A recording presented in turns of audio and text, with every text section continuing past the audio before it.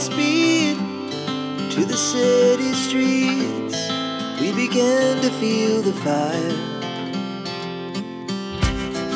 We rise like tall buildings as the chemicals they take us higher. The night's young, it has just begun as she puts her hand in mine. Chase the night, wanna dance to the light, pull the stars from the sky, just two hearts running wild. Never sleep, never stop. As we from the top, we're gonna, we're gonna be two hearts running wild.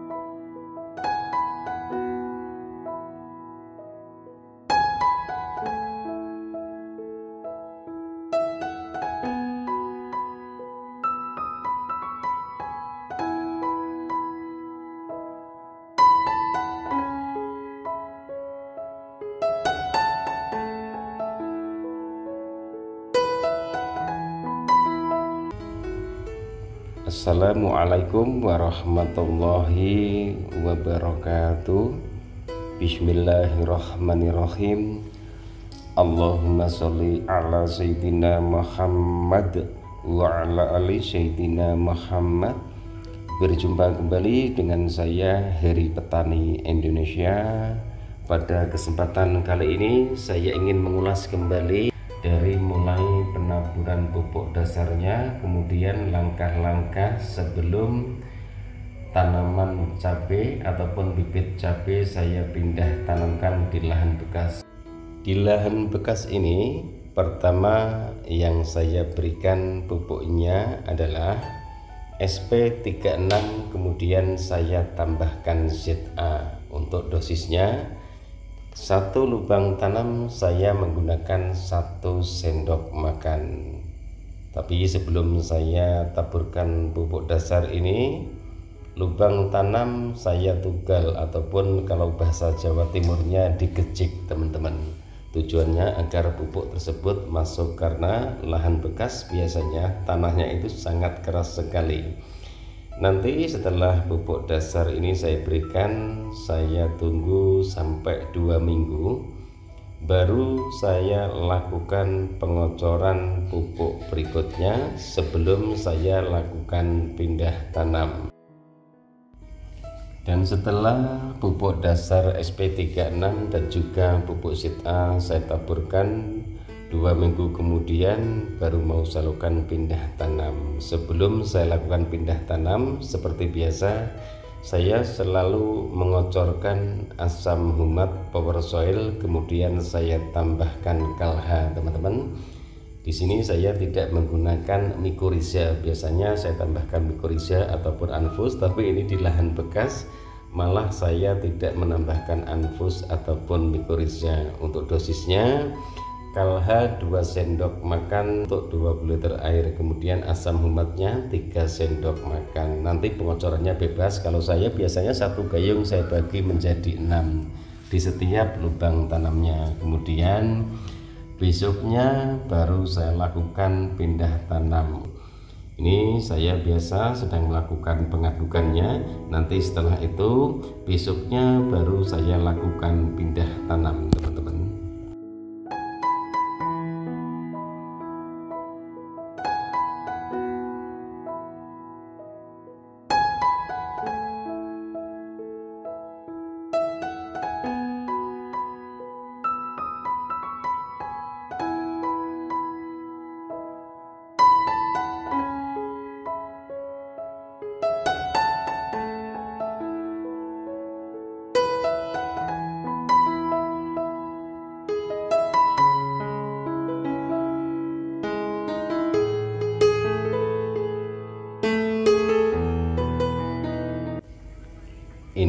teman-teman bibit cabenya sudah siap dipindah tanamkan. Usahakan jika mau pindah tanam sudah memasuki daun ke-6 tujuannya agar bibit mudah beradaptasi dengan tempat yang baru karena seharian penuh terkena sinar matahari. Dan Alhamdulillah kondisi bibitnya sangat bagus sekali tidak ada tanda-tanda bule ataupun terkena serangan trip dan juga tungo.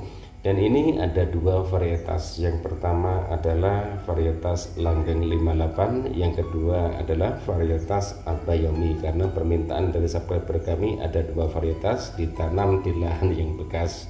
Mudah-mudahan hasilnya pun bagus Oke teman-teman, saya akan melakukan pindah tanamnya. Silahkan ditonton videonya. Insya Allah nanti akan saya gabung di playlist, jadi videonya bisa teman-teman ikuti semua.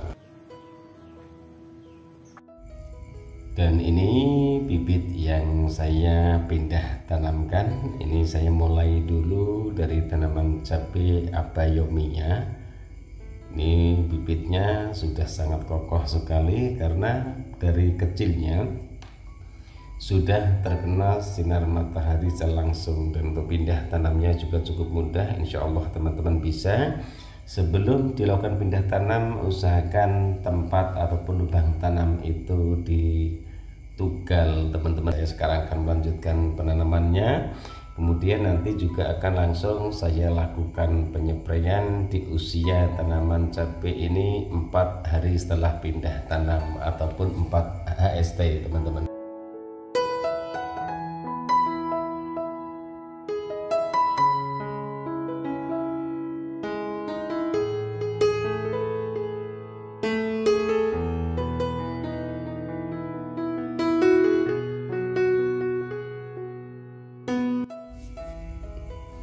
dan ini teman-teman kondisi tanaman cabenya usianya sudah empat hari setelah pindah tanam ataupun 4 HST sekarang saya akan melakukan penyepraian pertama menggunakan beberapa bahan yang pertama sudah tentu insektisidanya teman-teman karena hama trip ataupun tungo itu harus diantisipasi sejak dini tujuannya agar tanaman cabai bebas dari serangan trip tungo virus gemini. Dan nanti juga dilihat tonton videonya insya Allah video-video yang kami bagikan bermanfaat untuk penyebaran kali ini teman-teman yang pertama saya menggunakan abasel ini nanti dosisnya sekitar 10 mili. Kemudian yang kedua adalah Vitaron SL ini sudah sering saya jelaskan manfaat dan kegunaannya. Kemudian yang ketiga adalah asam amino. Ini premino asam amino dan pupuk cair protein. Kemudian juga manfaatnya juga banyak sekali. Nanti di lain waktu akan saya jelaskan semua sekarang untuk dosisnya teman-teman. Dosis Vitaron SL saya menggunakan ini ukuran tutup ini ada ukurannya teman-teman. Jadi kalau mau melakukan peracikan pupuk fungisida insektisida usahakan diukur. Jadi ini ukurannya sampai 50 mili liter air. Jadi ini saya menggunakan Vitaron SL nya sekitar 30 ml air. Ini kalau semua ini sampai 50 ini saya menggunakan 30 mili teman-teman. Nah ini 30 ml air untuk 16 liter. Jadi ini. Kemudian yang kedua adalah asam aminonya. Saya menggunakan 30 mili juga. Baru untuk penyempraian pertama di usia 4 hari setelah pindah tanam. Nah, kemudian untuk abaselnya sekitar 10 mili juga 10 ml air baru diaduk teman-teman sampai rata. Usahakan diaduk sampai merata. Jadi ini untuk tanaman cabai di usia 4 HST karena saya kalau melakukan penyepraian itu saya lihat dulu tanamannya. Jika di jam 9 jam 10 jam 11 sudah tidak terjadi kelayuan berarti bibit yang kita pindah tanaman itu kondisinya sudah tidak terjadi kelayuan. Intinya sudah bisa beradaptasi dengan tempat yang baru. Sudah kuat terkena sinar matahari secara langsung. Oke teman-teman saya akan berangkat ke kebunnya melakukan penyepraian silahkan ditonton terus video-video di channel Hari Petani Indonesia. Siapa tahu video-video yang kami bagikan bermanfaat. Penyepraiannya langsung ke titik tanamannya saja. Jangan dispray secara terus menerus sayang. Jadi banyak yang kebuang karena ini baru pohonnya masih kecil-kecil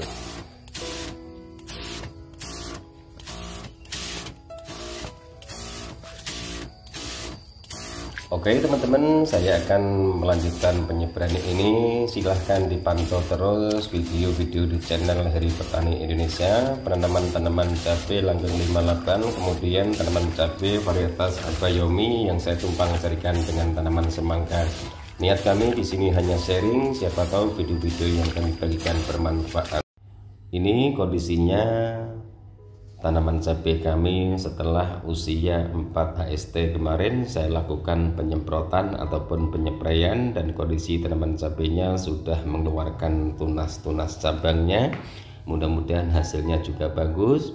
Dan untuk kesempatan kali ini saya akan melakukan pembukaan pertama di usia 8 hari setelah pindah tanam ataupun 8 HST makanya ditonton videonya. Untuk pembukaan pertama kali ini saya menggunakan apa saja. Jika video ini bermanfaat silahkan like, komen, dan subscribe. Mudah-mudahan video-video yang kami bagikan bermanfaat.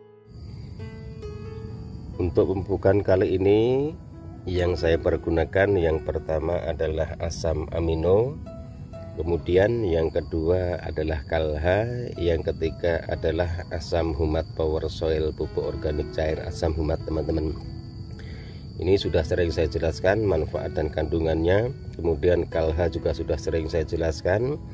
Premino juga sudah sering saya jelaskan. Jadi ini untuk pembukaan pertama tanaman cabai kami langgeng 58 kemudian varietas abayomi. Dan untuk dosisnya teman-teman asam humatnya saya menggunakan 2 sendok makan.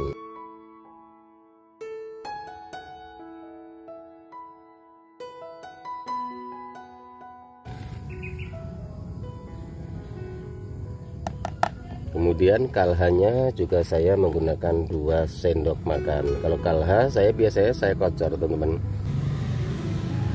kalau kalha biasanya memang saya kocor teman-teman. Saya jarang menggunakan kalha itu untuk saya jadikan sarana penyepraian kemudian untuk asam aminonya ataupun preminonya saya menggunakan 30 mili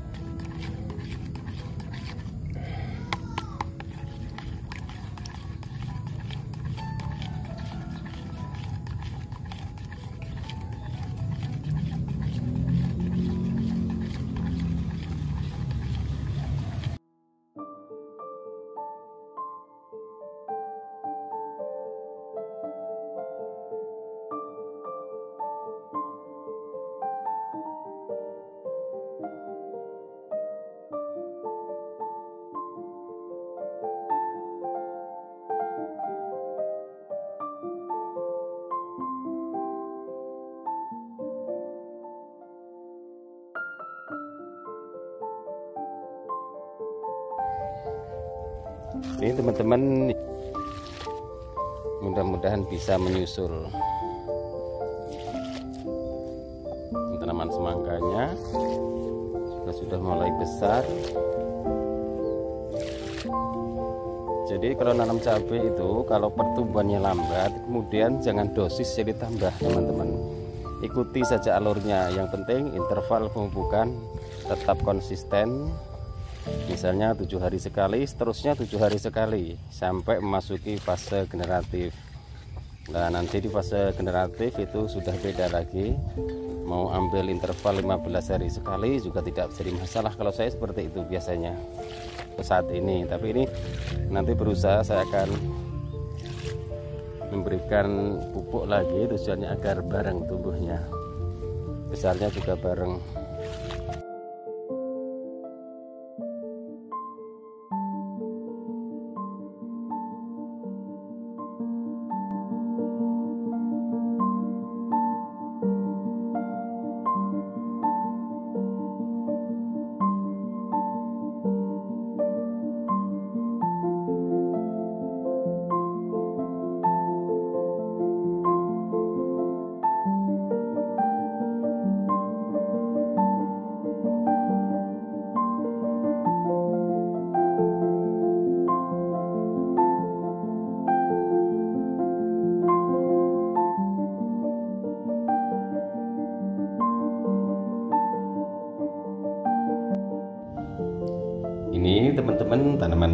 kami yang baru saya lakukan pemupukan dan juga penyepreian penyepreian pertama di usia 4 AST kemudian pemupukannya di usia 8 hari setelah pindah tanam. Dan untuk aktivitas hari ini saya juga akan melakukan penyepreian kembali menggunakan insektisida. Silahkan ditonton videonya di usia yang ke 11 hari memasuki 12 hari setelah pindah tanam ini. Apa saja yang saya perlukan untuk penyepreian yang kedua ini? Like, comment, dan subscribe. Mudah-mudahan video-video yang kami bagikan bermanfaat ini teman-teman untuk penyepreian yang kedua kalinya ini yang pertama saya menggunakan asam amino.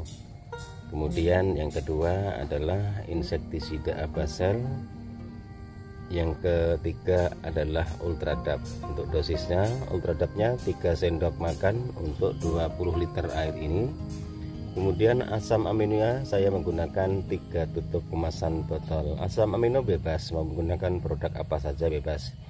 Premino juga bagus sekali. Kemudian hasilnya saya menggunakan 10 mili teman-teman. Ini penyepreian kedua di usia tanaman cabai kami 12 hari setelah pindah tanam. Nanti setelah itu baru dimasukkan ke dalam tangki ini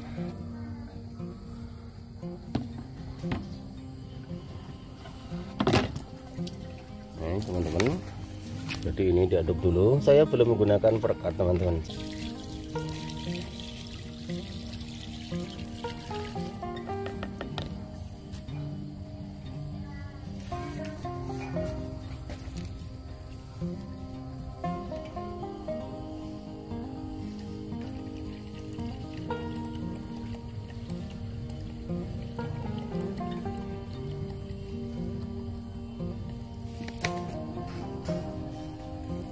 silahkan ditunggu videonya.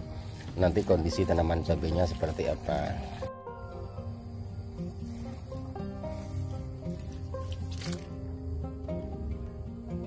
Ini teman-teman untuk kondisi tanaman cabenya Alhamdulillah sudah mulai tinggi. Kemudian untuk tanaman semangkanya juga sudah mulai mengeluarkan pucuk-pucuk yang baru walaupun ini sangat kekurangan air sekali teman-teman. Dan untuk penyeberannya juga cukup mudah sekali. Jadi difokusnya ke pohonnya saja teman-teman. Biar tidak terlalu boros.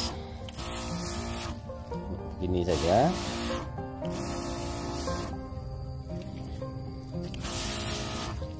Ini varietas langgeng 58 di lahan bekas. Saya ulang lagi ini di lahan bekas bukan di lahan baru seperti yang teman-teman lihat kondisi plastik mulsanya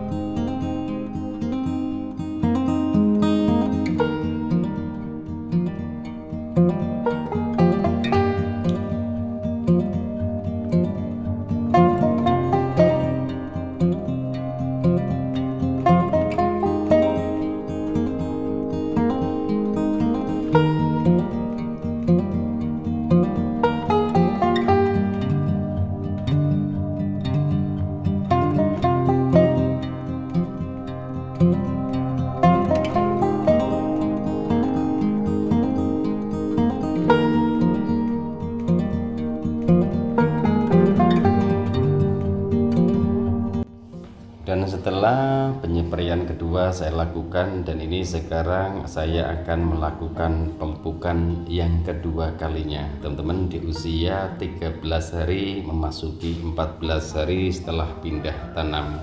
Maka dari itu silahkan ditonton pupuk apa yang saya pergunakan kemudian dosisnya berapa. Nanti insya Allah video-video yang kami bagikan akan membawa manfaat buat sahabat-sahabat tani semua ini yang pertama adalah ultradap teman-teman ini saya langsung menyiapkan 4 gayung. 4 gayung ini adalah untuk 4 sediken jadi 80 liter air teman-teman. Untuk ultradapnya berhubung ini adalah 4 gayung atau 8 sediken saya menggunakan 8 sendok makan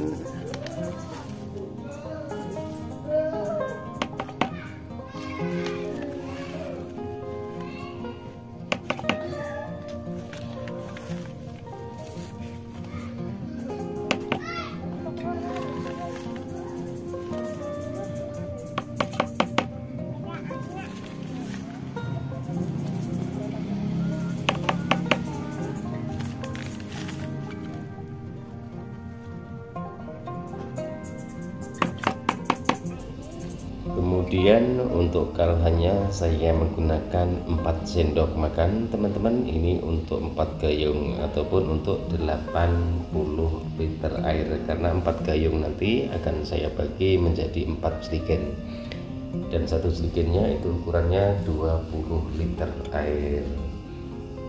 Ini Alhamdulillah dibantu sama istri megang kamera HP-nya jadi bisa langsung tangan duanya kelihatan semua itu di sebelahnya adalah tanaman cabai di wadah bekas galon. Teman-teman sudah mengeluarkan buah bunganya. Kemudian untuk asam umatnya saya menggunakan 8 sendok makan untuk 80 liter air. Ini saya aduk sekalian jadi agar tidak terjadi gumpalan. Karena asam humat sendiri itu sangat lembut sekali teman-teman seperti kopi. Jadi jika langsung diaduk semuanya seperti ini nanti bisa tercampur menjadi rata. Dan yang terakhir adalah asam amino. Teman-teman asam aminonya saya menggunakan 4 tutup. 4 tutup ini juga untuk 80 liter air. Biasanya saya menggunakan ukuran bekas takaran abasel tapi tadi nggak tahu dibuang ke mana sama anak jadi saya menggunakan tutupnya saja